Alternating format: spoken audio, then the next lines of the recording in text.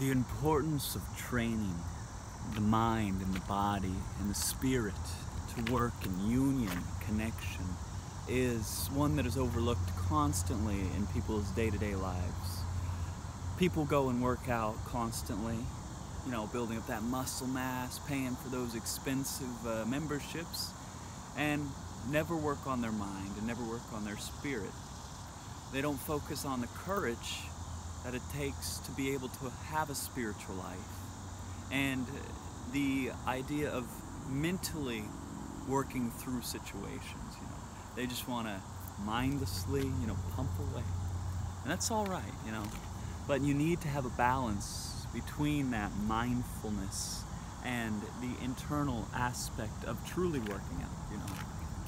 Being able to build up internal strength through meditation, through yogic practice, through mindsets and philosophies, and then you build up an energy around you that is beyond just the physical. You build up an energetic field of presence, and you can cultivate that into your day-to-day life. It can give you more strength.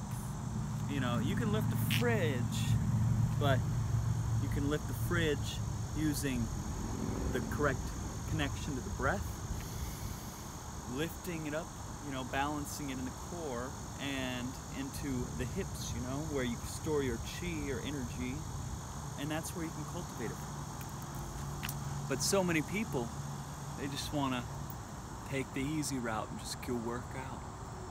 That doesn't build true strength, real internal power getting these vital systems to work at top efficiency, getting your lungs to work properly, your heart to beat fully, your thyroid to work freely, your liver to digest, or well, to your liver to, you know, cleanse the body and your kidneys to store the chi.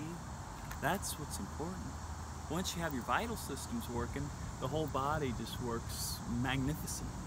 You hardly have to even work out. You just naturally have a physique that is connected and healthy and vital. And you can move freely, this expression, into healthier states of consciousness, shifting mindsets, shifting your own ideas about what you should be doing with your life. So, for a moment, focus on breath. Focus on an expanded awareness and a deeper realization of your own internal mind.